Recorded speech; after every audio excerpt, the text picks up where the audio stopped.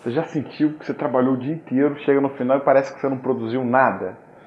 Pois é, para quem trabalha em vendas, isso significa tirar dinheiro do bolso. Se você hoje está precisando se tornar mais produtivo em vendas, esse vídeo é para você.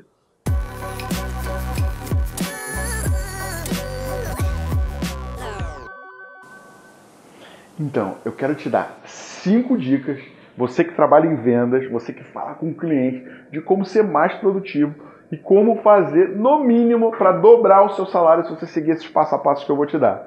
Fica até o final que eu ainda vou te dar mais uma dica de ouro que vai te ajudar pra caramba. É novo por aqui? Se inscreve no canal, marca para ser notificado. Eu tô com pelo menos três conteúdos por semana te ajudando a vender mais, a botar a máquina de crescimento para funcionar. Cara, a rotina em vendas é muito importante. E a produtividade é a diferença entre você ganhar bem em vendas ou você ganhar mal. Cara, eu não conheço nenhum vendedor de alta performance que não é extremamente produtivo e que não segue uma rotina muito boa em vendas. Pode ser que se o seu resultado não estiver bom, seja exatamente isso que esteja faltando. Então eu separei cinco dicas que eu sempre dou para os meus vendedores em coach que vai fazer a diferença na tua empresa.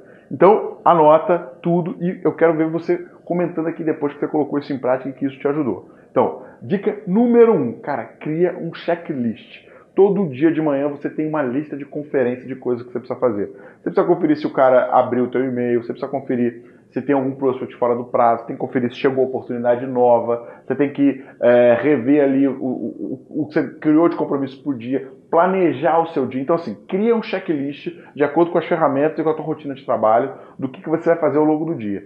Primeiro passo na produtividade é você planejar e depois analisar se você realmente foi produtivo. Então é planejamento e controle. Isso é velho pra caramba, mas te ajuda absurdamente. Segunda dica, trabalha em blocos. Caraca, trabalha em bloco bonito. É carnaval? Não, não é isso, cara. Trabalhar em blocos é o seguinte: agrupa o teu trabalho no mesmo trabalho. Por exemplo, na parte da manhã, você apenas faz follow-up. Então, de 9 da manhã às 11, você sabe que é um bom período que o teu cliente atende, você fica ali concentrado. Então, você vai pegar o teu CRM, vai listar todos os prospects que você tem para ligar e vai ligar para um por um e vai marcando o que você fez e o que você não fez, tá? Então, assim, concentra o teu trabalho em blocos. Então, cara, o horário que é mais fácil falar com os prospects, você faz follow-up. O horário que é melhor, que é pior para falar, você agenda as reuniões que você vai ter que fazer. É, por mais no final do dia ninguém me atende, joga as atividades administrativas, como mandar proposta, anexar, atualizar CRM e tal. E prospecção, você sabe que pô, tem um horário que funciona muito bem, que é perto do almoço. Então, assim, pega a tua agenda, se você usa o Google Calendar, cria os bloquinhos, já deixa blocado tudo que você faz. Entendeu? Então, assim, você tem que controlar muito bem a tua agenda. A partir disso, você irá trabalhar as suas atividades. Isso já vai te ajudar a ser infinitamente mais produtivo. Terceira dica muito importante. Cara, cumpra o que você planejou. Se você agendou um call de uma hora e o teu cliente quer ficar duas, você tem que cortar ele. Eu sei que a gente é carismático e tal, pô, mas eu vou ganhar venda. Cara, você tem que ser produtivo. Se você combinou uma hora, é uma hora.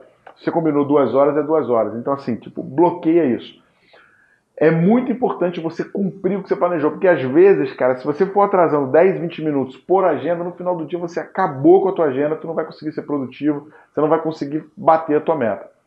Quarta dica muito importante, follow-up. Cara, se você não sabe o que é follow-up, follow-up nada mais é do que você cumprir a tua cadência de estar sempre falando com o teu prospect, de não deixar eles engajar. Cara, já é difícil de achar um bom lead. Você achou um bom lead, você conversou com ele, ele gostou do teu produto. Agora você vai conduzir ele desse momento ao fechamento. Cara, tu não pode deixar o cara esquecer de você, você não pode deixar o cara desengajar. Então, assim, o follow-up ele é feito ao longo de todo o processo de vendas, nada mais é do que você manter o teu prospect engajado e você tem que ter sempre uma justificativa para estar entrando em contato com ele. O que, que é fundamental? Ao final de cada ligação, você sempre combinar o próximo passo. Beleza. Gostou? Fez a demonstração? Olha, nesse momento eu vou te mandar um e-mail e a gente se fala amanhã para saber o feedback aí do teu time, se eles gostaram ou não gostaram do nosso produto. Follow-up é a diferença entre bater meta e não bater meta. Então, muita atenção. No mínimo, 40% do teu tempo é fazendo follow-up. Quinta e última venda. Cara, se você está trabalhando com venda, se você está aqui no meu canal, você sabe que existe uma revolução na ponta de marketing e na ponta de venda.